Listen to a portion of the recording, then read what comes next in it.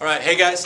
Hey, welcome to Unit 2, Lecture 4, all right? 20 unbelievable minutes of your life. All right, so today we're getting into elections. We're going to talk about congressional elections and presidential elections, all right? And in particular, let's focus on Congress, right? When I say Congress, I mean the House of Representatives and the United States Senate. When I say Congress, I mean the 435 seats in the House and the 100 seats in the Senate, okay?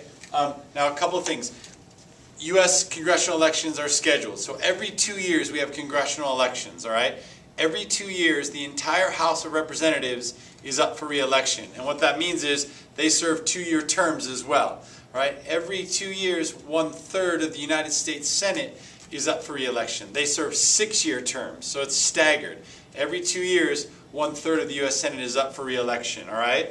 Now, we also have um, single member districts in our congressional elections, right? Now, as you guys already know, the U.S. Senate, the senators in Nevada, the senators in California, et cetera, all the 50 states represent the entire state, all right? The boundaries of their constituency or their electorate is the state of Nevada or the state of California, all right? That's the Connecticut Compromise. One house, one chamber will be based on equal representation, all right? Now the other, the 435 seats, um, this is a map of the four congressional districts that we have in Nevada, all right? Now remember, congressional seats, or I'm sorry, House seats, are based on the, the population of a state. So Nevada has four, California has 53, right? But again, California has two senators, just like Nevada has two senators, all right? But our senators represent the entire state.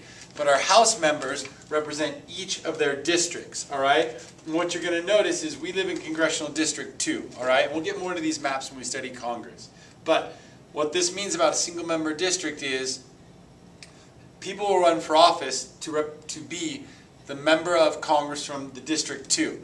Only one person gets that seat, a single member. Same with this, same with this, same with this. Same with all 435 districts across the country for the U.S. House, all right? So again, whenever I ask um, how many House seats are there and how many congressional districts there are, the answer is the same, 435, all right? Okay, now, um, this is contrasting, okay, single member winner take all districts with a proportional system, right? Some Western democracies around the world use proportional systems. And I'll just tell you really quickly what there are. Imagine, say, in a country that uses a proportional system, rather than winner take all, has 100 seats available in their legislative branch. All right? And Party A gets 22% of the vote. Party A, rather than an individual person, Party A gets 22 seats in our 100 seat um, fictitious legislative branch. Party B gets 12%. They get 12 seats. Party C gets, you know, 30%. They get 30 seats. The seats are awarded proportionally rather than our single member winner take all districts of the 435 seats we have. All right? Okay. Now, like we said, every two years, right? So every two years, all 435 seats are up in the House, one third in the U.S. Senate. Now, before they have the general election, right, we have primary elections, right? And, and primary elections are elections in which all the Republicans will run against Republicans and all the Democrats will run against Democrats. And the idea behind a primary, which was invented by the progressives, was to allow the people to choose among their own party who was going to run in the general election. And the general election is when the D's and the R's will run against each other, right? Okay, now the idea here was to give people a voice in choosing candidates to run in the general. Before primaries, um, the parties chose who would run in the general, right? It didn't give a lot of democratic voice to the masses in choosing their candidates for the general election. And so the progressives invent these, all right? And add them to our election history. Now, you have a couple different types here. You have closed and open, all right? Closed primaries, all that means is if you're a registered Democrat, you can vote in the Democratic primary. And, and you can't vote in the Republican primary, and Republicans can't vote in the Democratic primary. So, registered Republicans in Nevada, because they have closed primaries, most states do, can vote in Republican primaries. All right? And again, the way you change your party affiliation is by checking a box when you register to vote. Okay? Now, open primaries, what that means is independents can vote. All right? In a lot of states, if you have a closed primary, in people that are independent or don't register as a party can't vote in the primaries. All right? Okay. So, open allows independents to choose. You can either vote in the Republican primary, you can vote in the Democratic primary, all right? Now, blanket or free love primary means independent voters can vote Democrat sometimes, Republican sometimes in the same primary election season. So maybe they want to vote in the Democratic governor's race, gubernatorial race, um, but they want to vote Republican in the congressional race, right? Okay. Um, and again, remember that we also have, although we're talking about U.S. House seats and U.S. Senate seats, at the state level, don't forget federalism, that we have the same kind of thing going on. We have state legislatures, state legislature is filled with legislators, right, that are going to be running for office, and there'll be primaries as well, all right, and general elections as well. All right. Now, um, look at this. This next set of notes here on 10 says factors that influence the outcome of congressional elections, right? So what impacts who wins? What are the variables to describe who wins? And you have a whole list of these. And the first thing you need to know is incumbency is the single greatest advantage, all right? For a number of reasons. And the incumbent is the person that already holds the office and is running for re-election. The challenger is the person trying to defeat the incumbent, all right? And again, I'm talking about congressional elections right now, right? I'm not talking about the presidency at this moment. Okay. So, if you look at this, 90% of U.S. House members are reelected. 80% of U.S. Senate members are reelected, all right? So, if you're the incumbent, you have an incredibly good chance of winning. All right, so look at some of these advantages of incumbents. Franking privilege, free mail, right? Free mail, what that means is a member of Congress, you, you guys, your parents may get these. It'll say, hello, you know, I'm Congressman Amodei, right? And this is what I've been doing as your elected representative. I'm on this committee and that committee. I'm working hard for my constituents. That's a benefit. One, he's communicating with you, but two, he's telling you, look how good what a good job I'm doing, and therefore remember me the next time we go for election. Whereas the challenger, if they want to get their name into your house, they got to pay for that kind of mail, right? Now I know the internet has drastically changed this, all right, because they can access you through, you know, Twitter accounts, Facebook, you know, um, emails, you know, all that kind of stuff is a little bit different than it used to be, but still the same idea. Now, you also have campaign staff already in place, right? What that means is they have people already working for them. They have an organization. They have a system, right? They know their state. They know their congressional district, right? You know, our congressman, uh, Mark Amodei from Congressional District 2 has staffers around the state that know the state, that know what their constituents want, that know what that we need. And therefore, when it goes, when you flip from representing people to running for re-election, asking their vote, you have staff already in place to twist that, turn that, and hit the ground running. Again, we're challengers have to build a staff, pay a staff, and get that staff in place to then help them get reelected. All right? Now, also, um, gerrymandered districts. All I'm going to tell you about this really quickly is these lines are drawn with a lot of fighting. All right? Because we've been studying demographics, and what this means is, is you know, if you draw a line that includes people that are more likely to vote Republican, then a Republican will win. If you draw lines that mean they're, they're more likely that the Democrat will win than a Democrat will win. And so, just for now, we're going to get way into gerrymandering when we study Congress. A lot of these districts are drawn in a way that benefit the existing incumbents, all right? Now, there's way more to that, but we'll study that a little bit later. All right, now, committee service to their district. Every member of Congress goes back to Congress and gets on committees. Committees are the workhorse of Congress, right? And what you do is you get on congressional committees that benefit your constituents. Nevada's going to have things with gaming, with mining, with small business, right? With a lot of land use because all our federal land, all right? You get on districts, or I'm sorry, committees that help you serve your district, all right? And you'll see again a little bit more of that as we get into Congress. All right, now, name recognition. I'm telling you, the incumbent has the advantage because one of the free mail, you see them in the news, they're on committees serving their constituents, or they're in the news again, and that name recognition helps them get reelected. All right? Now, also casework for your constituents. All right?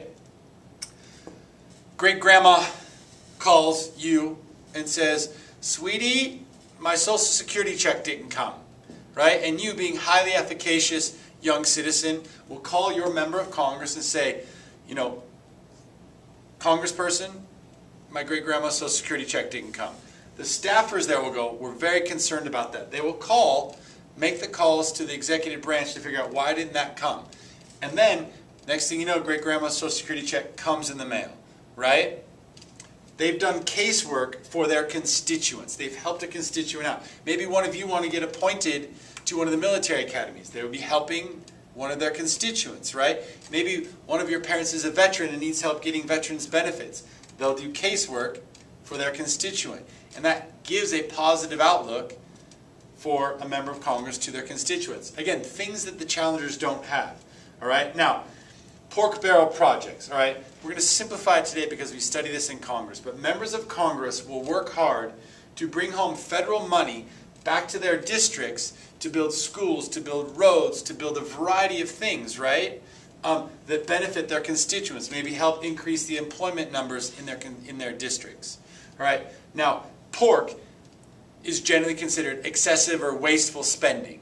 All right? So some people will accuse members of Congress of bringing things home to their district that maybe their district doesn't need, but they know their district wants, and it'll help them get reelected. We're going to study that in a lot more detail later, all right? All right. Now, the other thing is political money, a political war chest. These members of Congress, they'll get elected, and they will raise money raise money, raise money, getting ready for the next election. So when they get a strong challenger, they have the ability to spend a lot of money to ideally easily spend money on campaigns, on ads, on all the things you need to get reelected. All right? Okay, so those are the advantages of incumbents. Now let's move over to, again, this type of election is pretty easy, all right? Which ones are competitive, which ones are not competitive, all right? Incumbent campaigns are the least competitive because they have 80, 90% reelection rates, right? Weak challenger campaigns, right? Again, incumbent, an incumbent facing a weak challenger is not going to have a hard time getting reelected. And you can go through these, all right? Open seats tend to be the most competitive. When we have a vacant seat, meaning no incumbent, those are the ones we're going to get the strongest candidates because they know they have the opportunity to actually win. All right? Now, again, um, the House is a little less competitive than the Senate because there's only 100 Senate seats and 435 House seats. All right? Okay. Now, midterm elections. Remember, we talked about midterm elections. Midterm elections are those elections that are between presidential years, right? So 2008 was a presidential election. 2010 was a midterm election. Only members of Congress are up for re-election. There's not, I mean, there's also state elections going on those the years as well. But there's no presidential year, all right? Okay. Now, a key trend in this is in midterm elections, the trend since what, 1938 to 1994, right, in every House race, we've seen the party of the president loses seats. That's a trend you're going to want to know, and we'll discuss it in class as far as why. All right, think about why. All right, now, um, here's the other thing. Uh, we have coattail effect, which we went over in class. Coattail effect means um, it can influence the outcome of an election, right? That's the big picture we're talking about again. What influences the outcome of congressional elections? We had incumbent advantages, we had the type of election, and now we're looking at coattail effect, right? And the coattail effect is simply if you have a strong candidate for, say, the presidency of one party, members of that party that are running for the Senate, that are running for the House, will benefit from a very, very popular, strong candidate right? So you need, you know, I don't know when coattails get long, but what I know is this, is in 2000, George Bush and Al Gore, right, had an incredibly almost 50-50 as far as the, the popular vote went, right? Neither candidate's going to have strong coattails because the country's split, right? But if you get a, a campaign like a really, really strong Ronald Reagan, right, um, he will bring other Republicans on his coattails into office because those people will get out to go vote for the Reagan and they'll also vote for people of the same party and they'll benefit from that strong coattail effect of uh, in the presidential race. All right. Now, the media also influences right elections, how they cover it, what they cover, who they cover. Right. Their journalism will influence us. All right. We'll get into that a little bit later. All right. Party affiliation people still tend to vote party, remember? I know we saw some data last time where people tend to split their tickets, but quite often people stick with a party, all right? Um, now the issues, right? In some years, economics will be a big issue. In some years, war will be an issue, right? It depends upon the year. And the candidate that speaks best to the issue can win uh, uh, the election, right? Um, now, you know, another thing is this, is all politics is local. You know, we have these guys back in D.C. from the House, we have these guys back in D.C. from the Senate, and they may be powerful political figures. Like, think about Harry Reid, right? Harry Reid is the Senate Majority Leader, right? He's the leader of the Senate Democrats. That's important for him, and he's a, a, national leader because of that. But if he can't appeal to the issues that Nevadans care about, he can't get reelected. If he can't get reelected, he's not the Senate Majority Leader, right? Okay.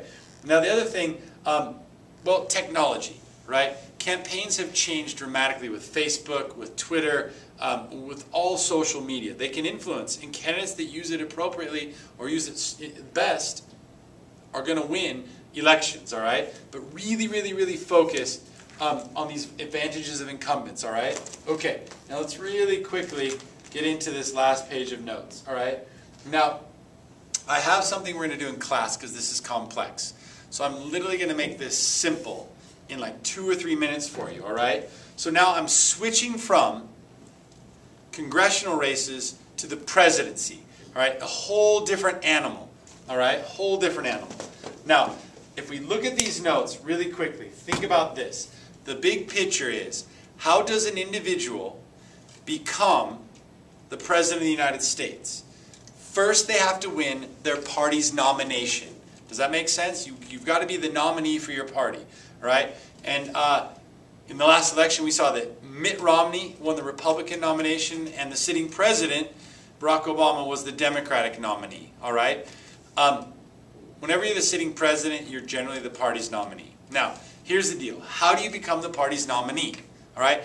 The way you become the party's nominee is you win delegates. Think of delegates as votes. And the candidate that gets the most delegates, or a certain number of delegates, becomes the party's nominee. Now, I have in my notes that at one point the, the grand old party, the GOP, the Republicans, the candidate that run roughly 2,500 delegates became the party's nominee once you got that magic number. And the Democrats, at one point, it was 2162. It'll fluctuate a little bit. Each state is awarded delegates based on population. And again, this is purely a party function. The parties have chosen how they're going to select their nominees, okay? All right. Now, the way you win delegates is two ways. You win delegates at a state's caucus or a state's um, primary. Again, different than congressional elections, all right? Nevada has a caucus, California has primaries, all right? Now, the way, what happens in a caucus is you essentially go down on caucusing day and you go talk and vote about the candidate that you like. All right? Primaries, you walk down, you just simply check. All right? Caucuses require a little more activity. We're going to get into that again in class. All right? But you either win delegates from the caucus or delegates from the primary. States determine what they have. It's up to the state. All right? Now, what we have is we eventually have we have we basically have a person wants to be the nominee. They go to every state's caucus or primary, and those are going to happen essentially from about January, where the Iowa caucus starts, all the way into the spring when the last, last caucus or primary starts. And you go to each one, right, and you try to win, you basically ask people to vote for you, right? And you get delegates based on those primaries or those caucuses, right? The first caucus of the year is Iowa.